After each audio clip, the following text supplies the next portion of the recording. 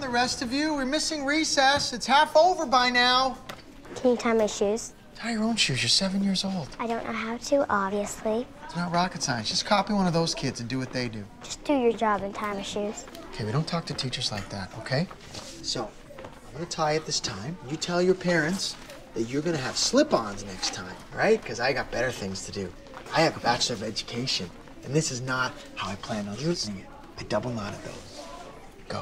Hurry up. The rest of you, can we hurry up, please? What's the delay here? Sir, Sonia won't let me use the blue marker. For what? We're not using the blue marker, okay? It's recess. We're gonna go outside. I want to draw outside. Draw what? We're not drawing outside. We're running around, and we're getting exercise, and we're giving me a little break, okay? He says you have to share the blue marker.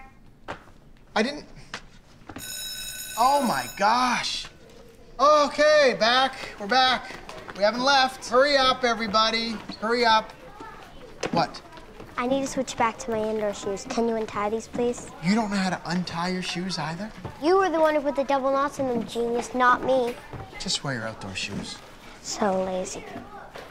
Why am I here? Why am I being punished? Awesome, awesome, awesome.